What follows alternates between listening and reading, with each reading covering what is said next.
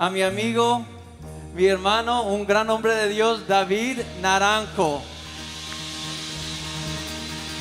Dios te bendiga, iglesia. Sabes, hay algo tan importante y es que hoy estás en el lugar más importante que puedes estar. Hoy domingo a la una y media podías estar haciendo muchas cosas, pero hoy estás en el mejor lugar con la mejor persona y esa persona se llama Jesús. Estás en el lugar especial donde hoy vas a poder entender acerca de lo que Dios ha hecho con nosotros.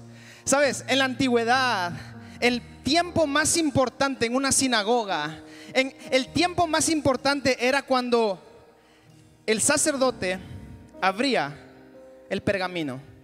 ¿Cuántos saben lo que es un pergamino? Ese era el momento más importante cuando ellos empezaban a leer la ley de Moisés, ellos empezaban a leer Isaías, a los profetas, era el tiempo con más reverencia en ese momento. Era un trozo de papel sagrado, un pergamino que se había escrito. Pero sabes, hay algo tan importante y es que un día el pergamino entró caminando por la sinagoga. El pergamino entró hablando y diciendo, yo soy el Hijo de Dios. El pergamino empezó a hablar, el pergamino empezó a caminar, el pergamino empezó a dar lo que él quería, porque él bajó desde arriba y se hizo pobre para que tú y yo fuéramos ricos.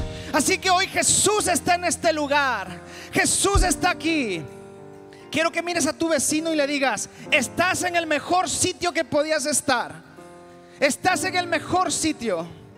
Así que, sin más, vamos a entrar y el tema de hoy es acerca de un Dios de pactos. ¿Cuántos tienen un Dios de pactos en este lugar? ¿Cuántos creen en los pactos que Dios ha hecho contigo? Dios te prometió algo. Voy a hacer una pregunta. ¿A cuántos de ustedes Dios les prometió algo? Tres, cuatro personas. ¿A cuántos Dios les prometió algo? ¿Te digo algo? La gente te puede fallar. Los hombres te pueden fallar. Pero el único que no falla, el único que siempre va a valer, el único que va a su palabra a estar, es la palabra de Él. Pero quiero que entiendas algo acerca de un pacto. ¿Qué es un pacto? Un pacto es un acuerdo o una promesa que pone condiciones entre Dios y tú.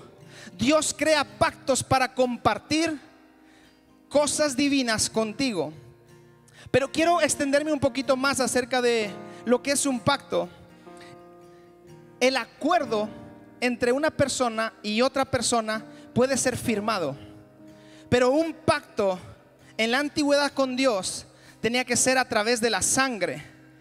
El pacto en el griego, si lo puedes buscar, significa cortar donde fluye la sangre o donde puede pasar un corte y que brote sangre. En el antiguo pacto, los hombres derramaban sangre al ser circuncidados para entrar en un pacto con Dios. Quiero que me acompañes a Génesis capítulo 17, versículo 11. Y cuando tengas ese versículo me das un amén fuerte. Y antes de empezar, quiero saludar a nuestro pastor Luis que nos debe estar mirando por live. Toda la congregación, si puede saludar a la cámara y decir, Ay, pastor, esperamos que estés bien, declaramos que estás sano, declaramos que todo lo que quiso venir a golpear, hoy Dios restaura el doble. Todo lo que quiso venir la enfermedad a golpear, hoy declaramos que esa muerte huye de ti y que esa enfermedad huye y hoy estás sano y declaramos en el nombre de Jesús que tú estás con nosotros el siguiente domingo. ¿Cuántos lo creen? Dale un aplauso al Padre. Sí, Señor. Ok, so acompáñame a Génesis capítulo 17, versículo 11. Y dice así, debes cortar la carne del prepucio como señal del pacto entre tú y yo. Te quiero explicar algo. El pacto que hizo Dios con Abraham fue que se circuncidaran los hombres. No tengo que explicarte lo que significa porque lo puedes entender. Pero tuvo que haber un corte que brotara sangre para hacer un pacto. Pero hay que entender para qué era ese pacto que Dios estaba haciendo con Abraham. Y ese pacto simbolizaba la pureza de Dios, pero también era un recordatorio simbólico de las promesas que Dios le hizo a Abraham conforme él iba avanzando. ¿Cuántos se acuerdan que Dios le promete muchas cosas a Abraham? ¿Correcto? Dios le promete muchas cosas y una de las promesas es que su descendencia iba a ser tan grande como la arena del mar, iba a ser tan grande como las estrellas del cielo. Pero hay un momento en que Dios le pide esa promesa, le dice, ofréndame a, a tu hijo. Y ustedes se imaginan cómo se debe haber sentido Abraham. Pero Dios, me diste este hijo como promesa y ahora quieres que te lo devuelva. Algo no encaja. Pero Dios prometió algo y Dios lo va a cumplir. ¿Qué es lo que Dios prometió en tu vida? ¿Qué es lo que Dios habló en tu vida? Que aunque no se haya cumplido, no significa de que Él no lo vaya a cumplir. Él tiene cosas preparadas para tu vida que cualquier persona se puede poner en contra, pero Dios es el que abre y Dios es el que cierra las puertas mediante un pacto que se hace con Él. Pero ahora, eso era en la, antigüedad. Hubo una circuncisión, hubo un corte explicando que la sangre era un pacto entre Dios y Abraham para prometer y para decir que eso iba a ser válido hasta que se cumpliera. Pero ahora hay un, hay un, tema que es el nuevo pacto. ¿Cuántos escucharon el nuevo pacto? Tenemos el antiguo pacto y después tenemos el nuevo pacto. Y en el nuevo pacto Jesús dio su sangre y derramó su vida para que tú y yo tuviéramos acceso al Padre de nuevo. Tú y yo tienes que estar emocionado. No me mires así como, ¿qué es eso, David? No, tienes que estar emocionado porque antes no teníamos acceso a Él. Pero hoy tenemos acceso mediante un nuevo pacto que hizo Jesús aquí en la tierra, derramando su sangre por nosotros. Ahora bien, ¿cómo entramos en un pacto? ¿Te has preguntado cómo, cómo entra en un pacto? En la antigüedad había dos personas que tenían que llegar a un acuerdo. Y esas dos personas se hacían un corte en la muñeca. Una en una muñeca y otra en otra muñeca. Y lo que hacían era juntar sus muñecas para que esa sangre tocara la sangre de la otra persona y así los fluidos de esa persona se transmitían a la otra persona y la otra persona recibía los fluidos de la otra persona. Tu ADN se mezclaba cuando hacías un pacto de sangre. Era muy importante los pactos. Si tú hacías un pacto de sangre, era algo muy importante. Pero quiero que entiendas algo. Dos vidas se convierten en una cuando tú haces un pacto. Dos vidas se convierten en una cuando tú haces un pacto. Porque la Biblia dice en 1 Corintios capítulo 6 versículo 17, quiero que me acompañes, y dice, y no se dan cuenta de que si un hombre se une a una prostituta, se hace un solo cuerpo con ella, pues las escrituras dicen, los dos se convierten en uno solo.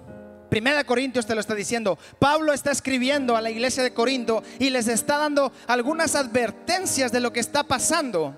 Y podemos entender de que ya no son dos, sino son uno cuando hay un intercambio de fluidos, en este caso de sangre.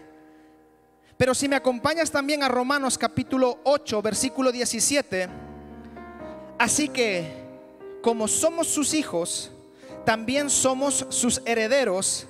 De hecho, somos herederos junto con Cristo de la gloria de Dios, pero si vamos a participar de su gloria, también debemos participar de su sufrimiento. La pregunta que te voy a hacer es, ¿con quién vas a hacer un pacto hoy? ¿Con las personas o vas a hacer un pacto con Dios? Dos personas me respondieron. Aleluya. ¿Cuántos están dormidos? No me digan amén. Alguno me dijo amén. Pero quiero que entiendas algo muy importante. Dios está empezando a decir pactos. Dios está empezando a dar promesas.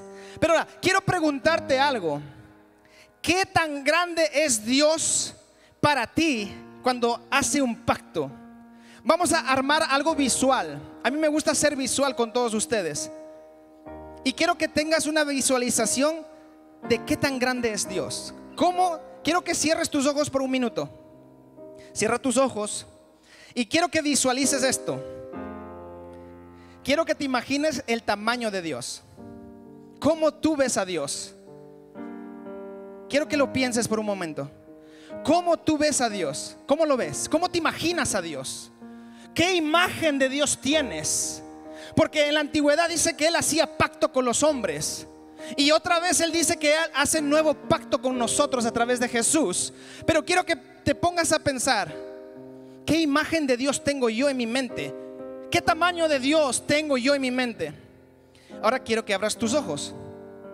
Cada uno de ustedes, se ¿cuántos de aquí se imaginaron como una persona? Uno, dos, ok, no sé, no, no, no hay problema. ¿Cuántos de ustedes tienen una imagen como que es una persona sin rostro? Like, ¿Cuántos de ustedes imaginaron que es como un viento? ¿Cuántos de ustedes imaginaron que es como un fuego? ¿Cuántos de ustedes imaginaron cosas? Hay más de 100 personas aquí, so hay 100 diferentes perspectivas de cómo es Dios, ¿correcto? Pero quiero hacerte entender esto porque a mí me rompió mi cabeza. Fíjate esto. En el principio, Dios crea los cielos y la tierra, ¿correcto? ¿Y cómo crea la luz? A través de su boca. Dios crea todo a través de su boca, pero Él dice, sea la luz. Y ahora vamos a entrar en un poco de matemáticas para que entiendas. no me mires así, pero vamos a entrar un poco en clase de matemáticas, porque te quiero enseñar qué tan grande es Dios. Fíjate esto, quiero que me sigas y me prestes la mayor atención que me puedas dar. Cuando Dios dice sea la luz, Dios crea la luz, ¿correcto?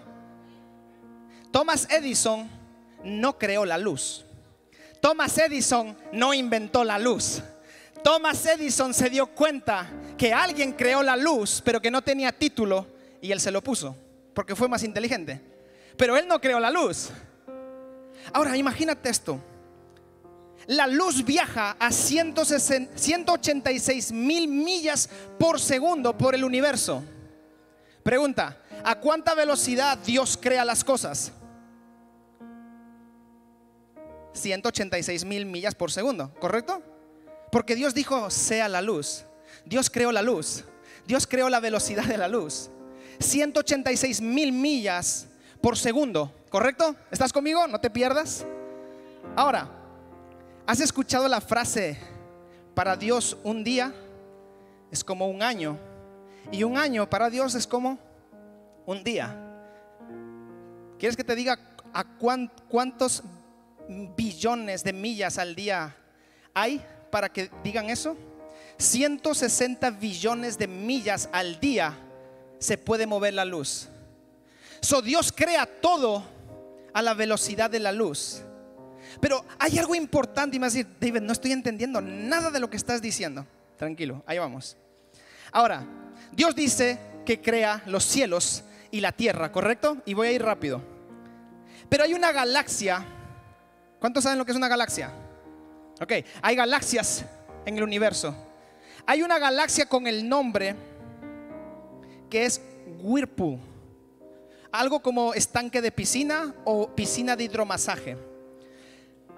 Y para poder llegar desde aquí hasta esa galaxia, tenemos que saber cuánto hay en un año luz. Porque no vale millas. No es que vas a ir a 120 millas por hora, vas a tardar infinito en llegar. So, fíjate esto. Para llegar a ese lugar, tendrías que tardar 5.88 trillones de millas para llegar a esa galaxia. Pero ¿qué te quiero decir con todo esto? Hay 31 millones de años luz de aquí a esa galaxia es que no te cabe en la cabeza, ¿verdad? David, es demasiada información. Pero hay algo más importante. En el vecindario de Dios, si tú eres vecino de Dios, no valen las millas. Tiene que valer los años luz, los trillones, los billones, los millones. Porque Dios es un Dios grande. Pero quiero explicarte esto. Quiero que me pongan la primera foto aquí, por favor. Esa es la galaxia de Waipu, que se llama. Está a más de 3.5 trillones, ¿ok?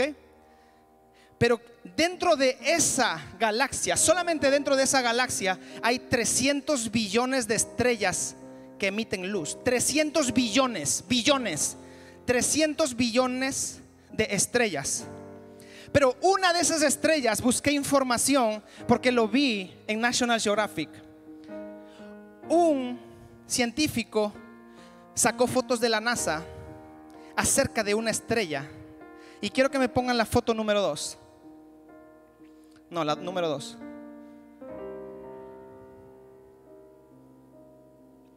¿Lo puedes ver? ¿Lo puedes ver? ¿Puedes poner la foto número 2, por favor?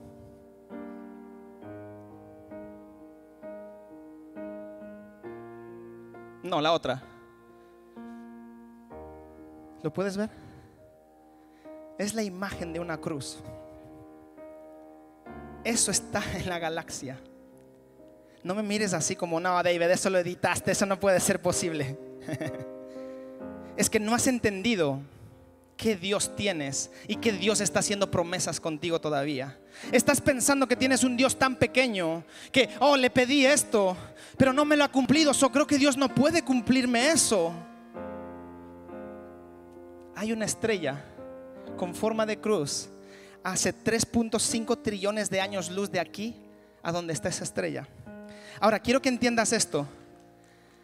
Ok, tengo una, bolita como de golf. ¿Ok? ¿Sí la puedes ver? ¿Quién no ve la estrella? Perdón, la, bolita. Todos, ¿verdad? Ahora, imagínate, esto es la Tierra. Quiero que ver si te puedes encontrar aquí dentro tú. Donde está Estados Unidos, estamos en California, estamos en San Bernardino. Mira a tu vecino si puedes verlo allá adentro. ¿Lo puedes ver? no, ¿verdad?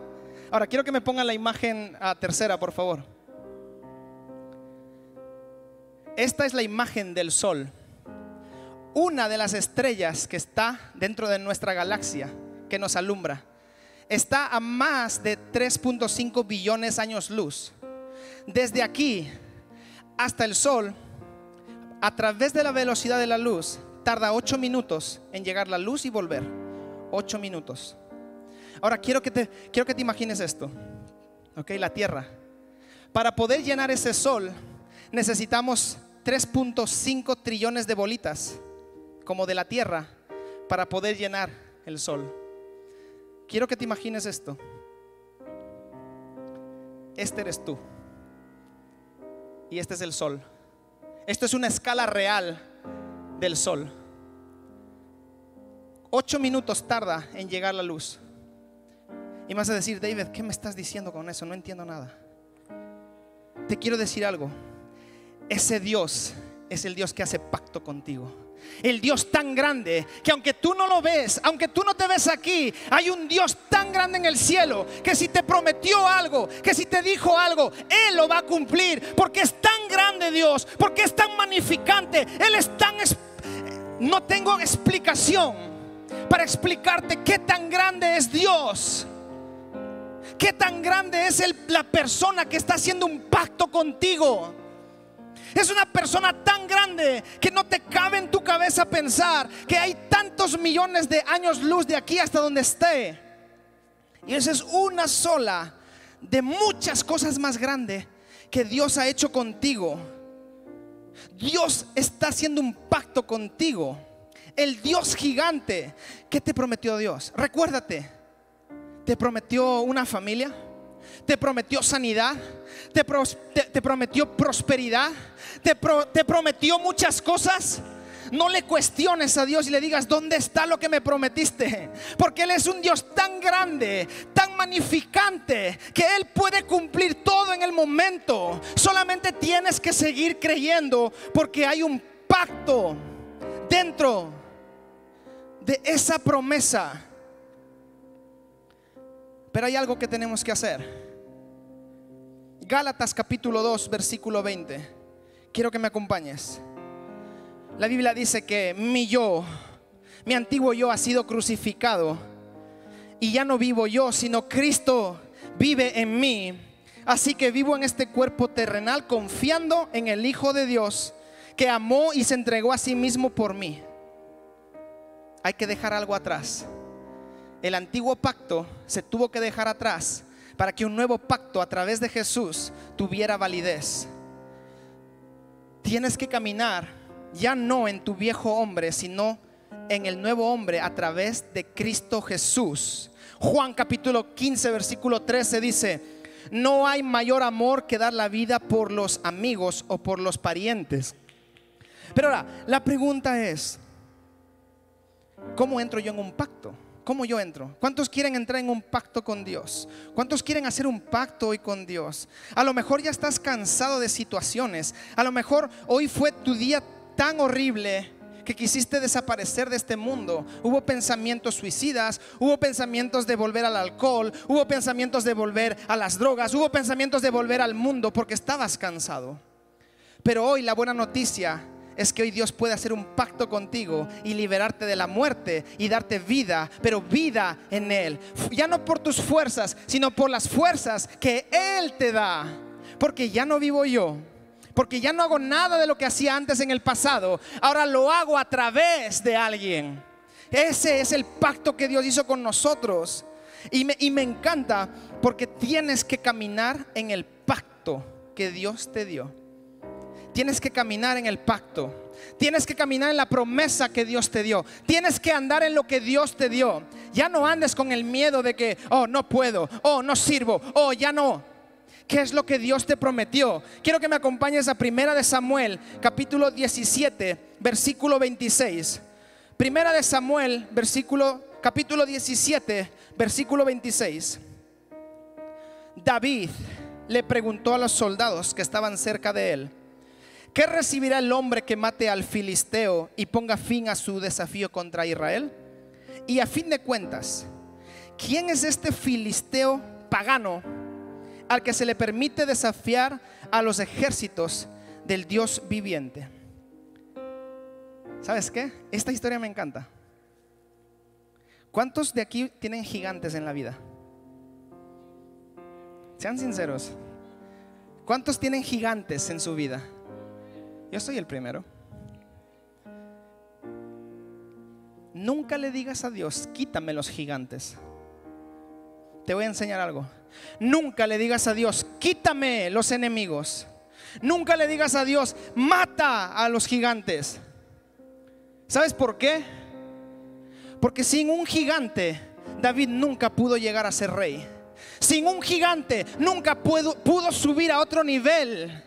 So, agradece por tus gigantes, porque tus gigantes te van a promover a otro nivel. Pero David, ¿qué me estás diciendo? Dios le prometió a David que iba a ser rey de Israel. Lo ungieron y el Espíritu se posó sobre él. So, todo lo que pasaba con David era que tenía que confiar en quién? En Dios. ¿Por qué? Por un pacto.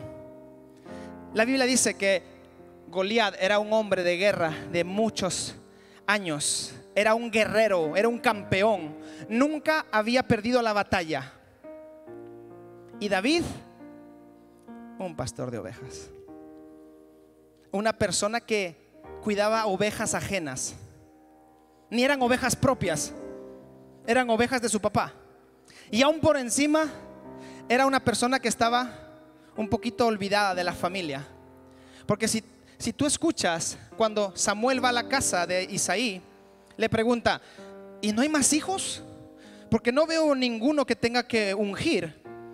Y el papá dice, oh sí, tengo uno que está por ahí cuidando las ovejas, el olvidado.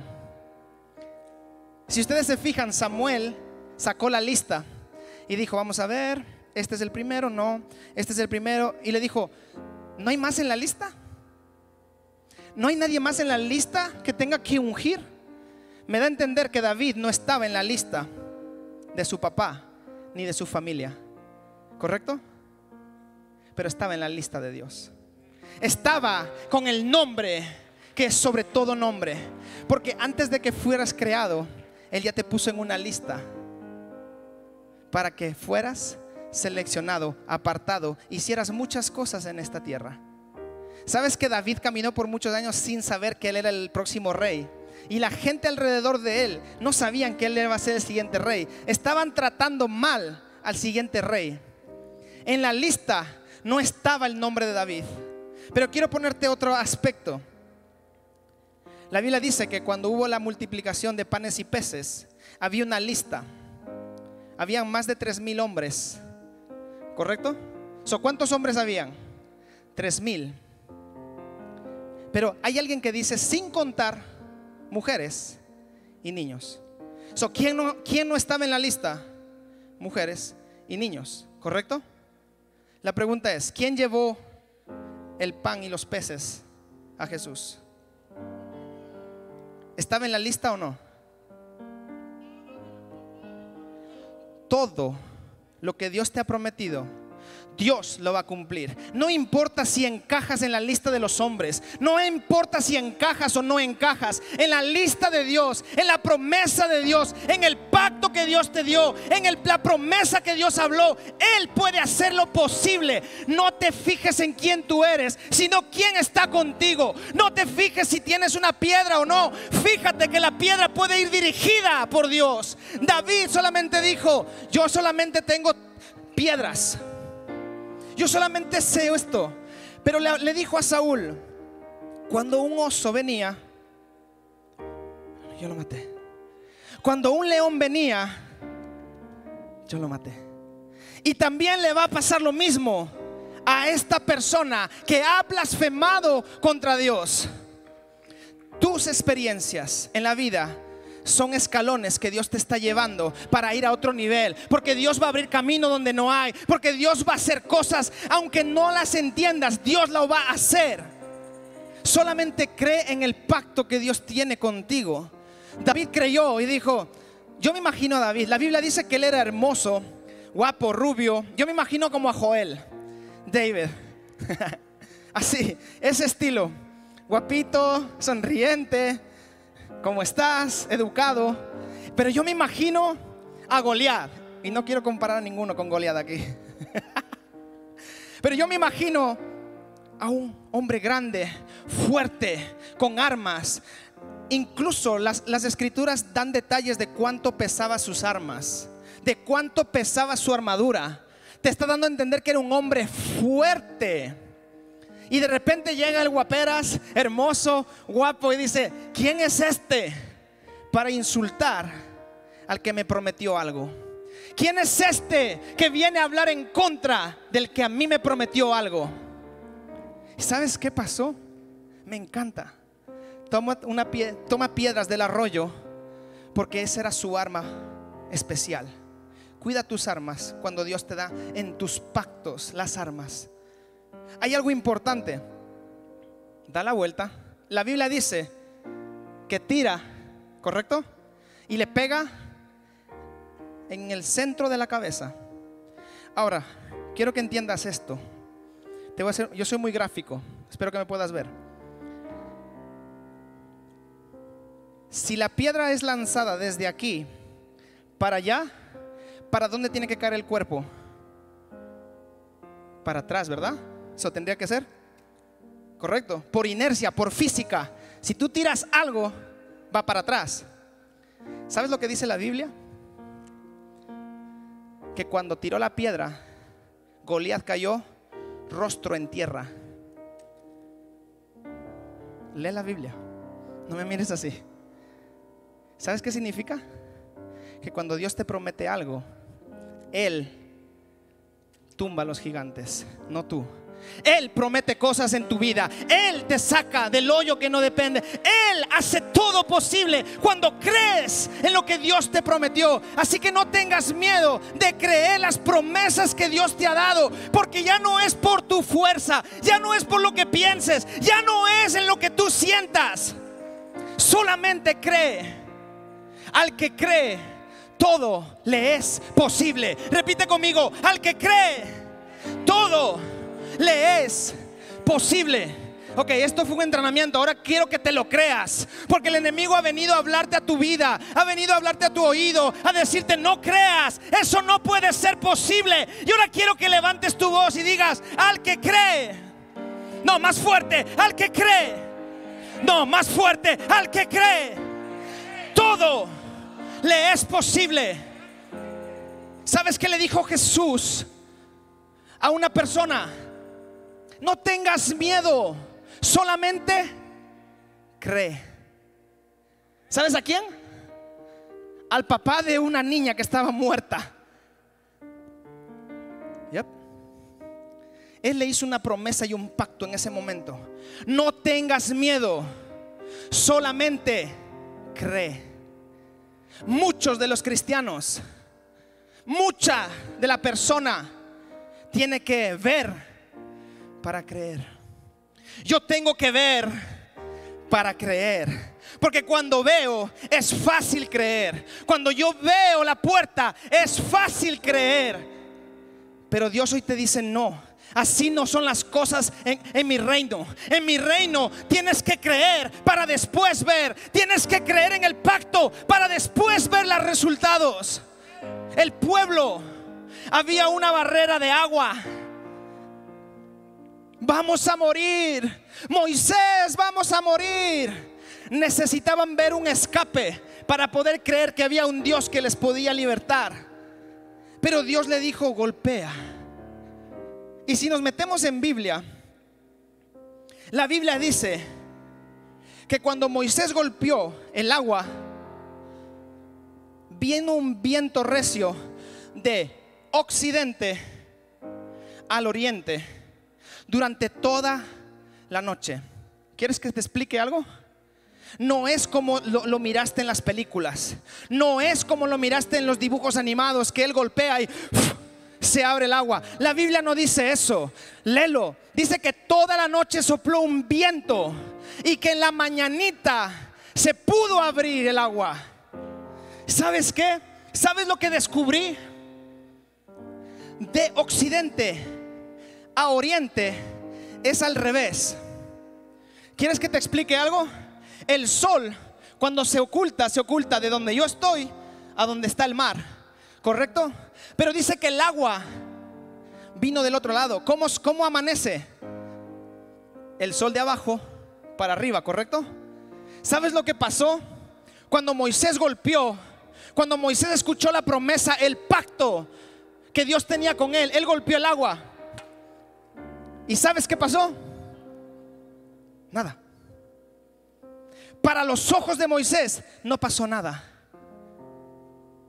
Durante toda la noche, él tuvo que creer que el golpe era sobrenatural. Porque las aguas no se abrieron de aquí para allá, se abrieron de allá para acá. El agua vino desde allá hasta aquí. En la mañana se empezó a abrir el agua.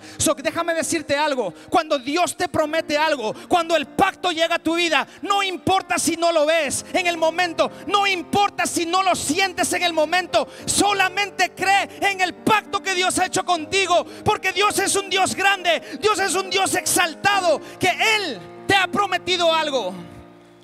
No es necesario ver para creer. Cree en las promesas. Cree en lo que Dios te ha prometido. Cree en el pacto que Dios te ha dicho. Y quiero invitar al grupo de adoración. Y estamos terminando. Pero quiero decirte algo.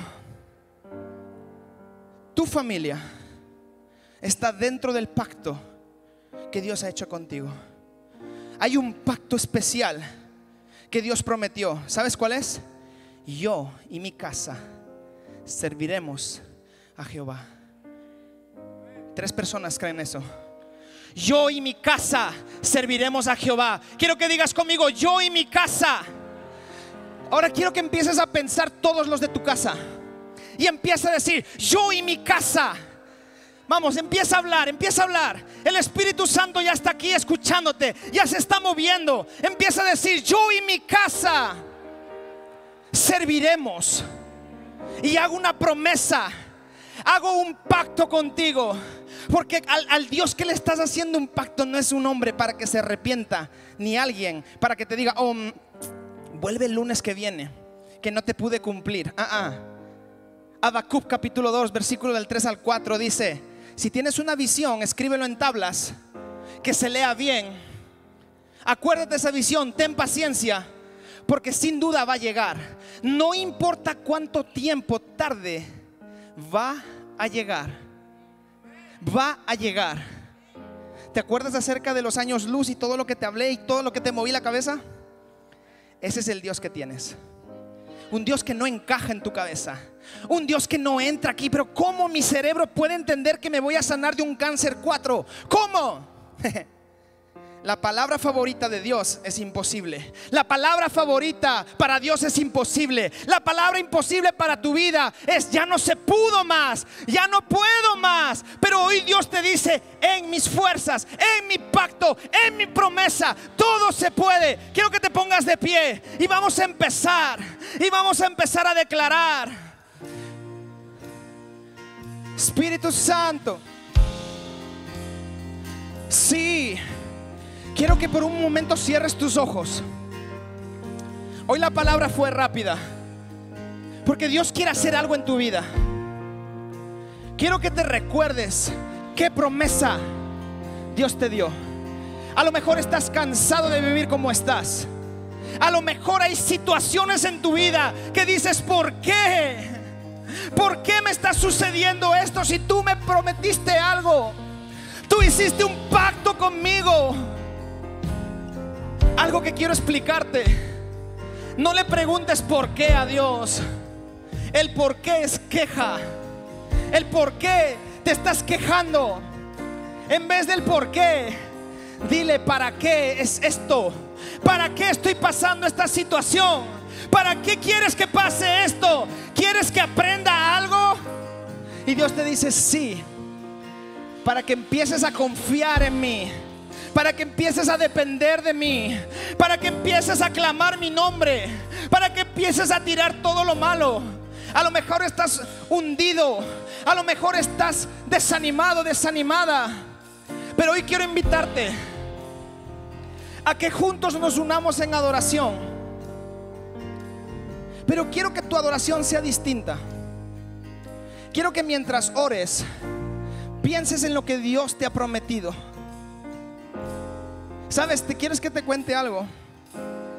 Mi mamá, y a lo mejor me está viendo, hizo una promesa un día, hace más de 16 años.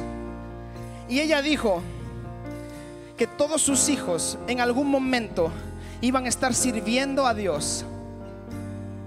Te hago la pregunta, yo soy resultado de mis fuerzas o soy el resultado de una promesa entre Dios y mi mamá. Yo soy el resultado de lo bueno que soy, de lo que he crecido en Estados Unidos.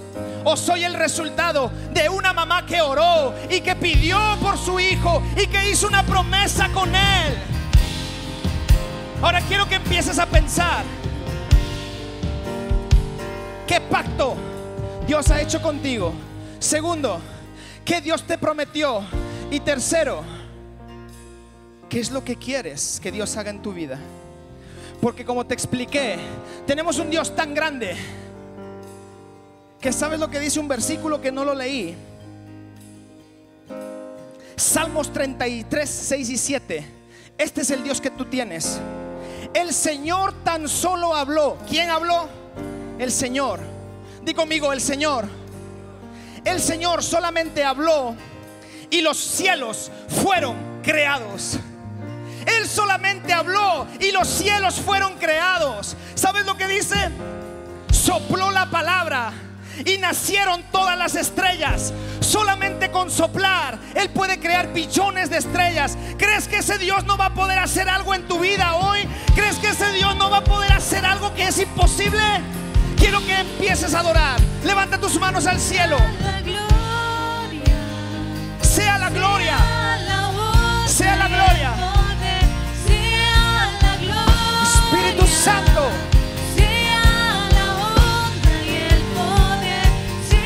la gloria. Quiero que entiendas algo.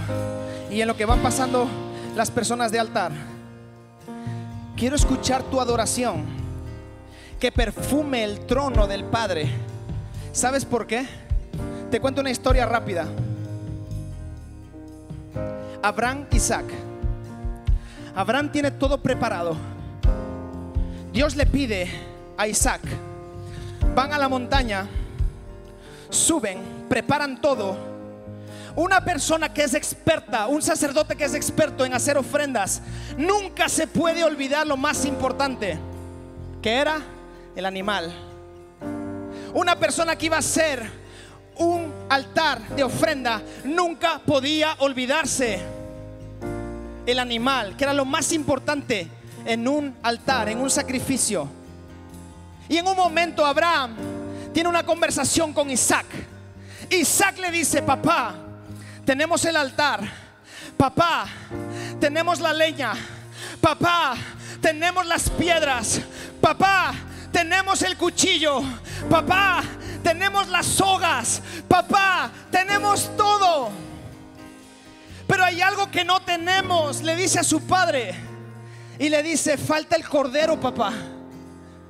Falta el cordero, falta el animal.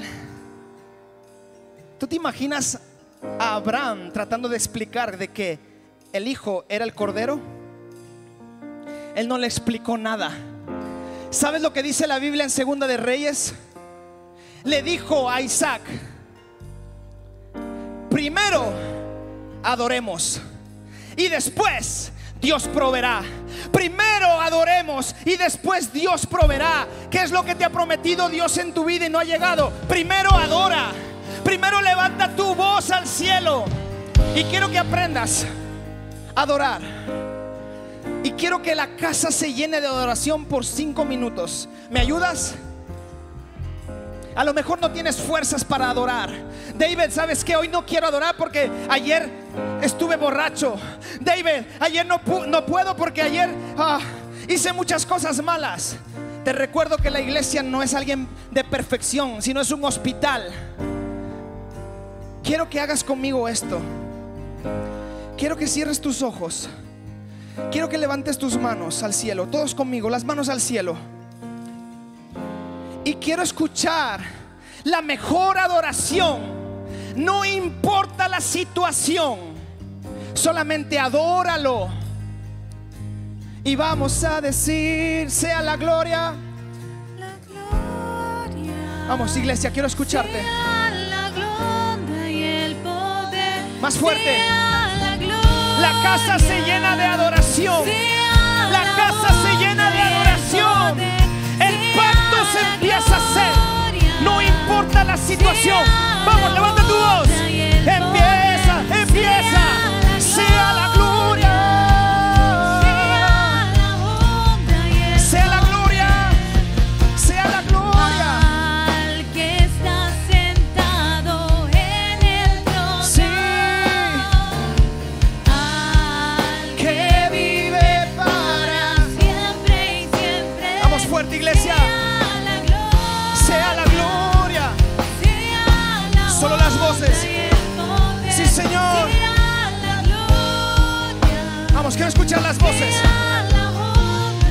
Vamos, iglesia. Quiero escucharte.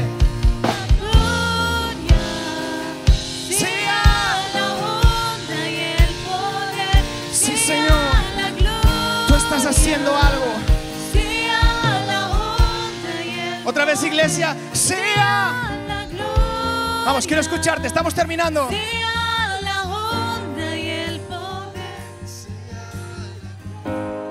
Ok, más fuerte, vamos. Estás delante del Padre. Estás delante del sea la gloria. Sea la gloria.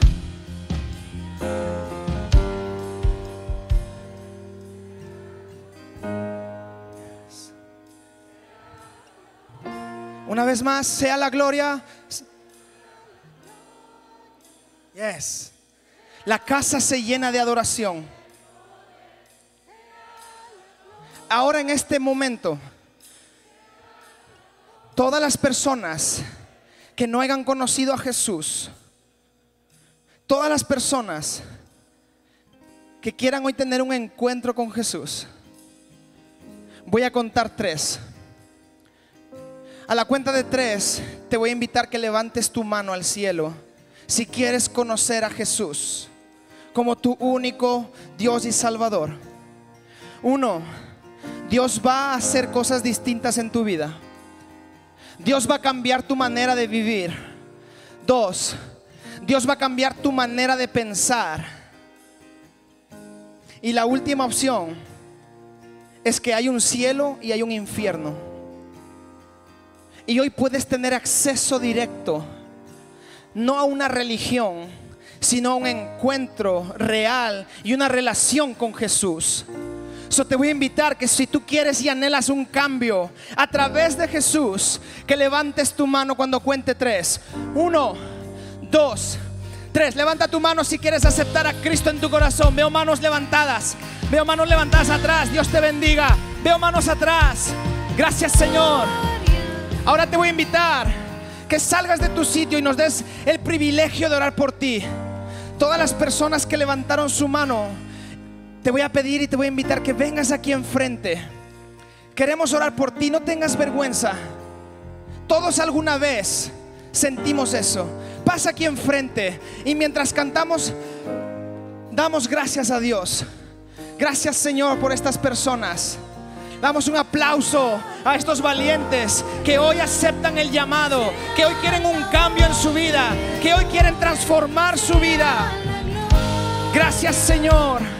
Gracias Padre. Ok. Todas las personas que están aquí enfrente, si me pueden atender un momento, las personas que están enfrente, solo un momento, si me pueden atender. Quiero que repitas esto conmigo. Todas las personas que levantaron su mano para recibir a Cristo, quiero que repitan esto y la iglesia nos acompaña. Repite conmigo, Señor Jesús, hoy en este día te pido perdón por mis pecados y yo hoy declaro que me arrepiento y que vuelvo a ti. Escribe mi nombre en el libro de la vida y hoy te acepto como mi Salvador, como mi Dios y mi Redentor. Espíritu Santo, ven ahora y llena mi vida en el nombre de Jesús. Decimos 1, 2, 3, 4, 5, 6, 7, 8, 9, 10 almas nuevas. Hoy hay fiesta en los cielos porque hoy Dios está diciendo, han vuelto al redil. Y si quieres oración, si hay situaciones en tu vida que necesitas, esto es para personas que ya han aceptado a Cristo en su corazón. Si hay momentos de dificultad en tu vida que ya no sabes qué hacer, si necesitas ayuda, si necesitas oración, sal de tu sitio. Tenemos líderes enfrente que van a orar por ti. Quiero que salgas de tu sitio si necesitas oración, si necesitas sanidad, si necesitas un consejo, si hay depresión, si hay soledad, si hay tristeza. Hay personas que pueden tener dolor de cabeza, hay personas que pueden dolor, tener dolor en sus riñones, en sus rodillas. Si eres tú en alguna enfermedad, sal de tu sitio y queremos orar por ti.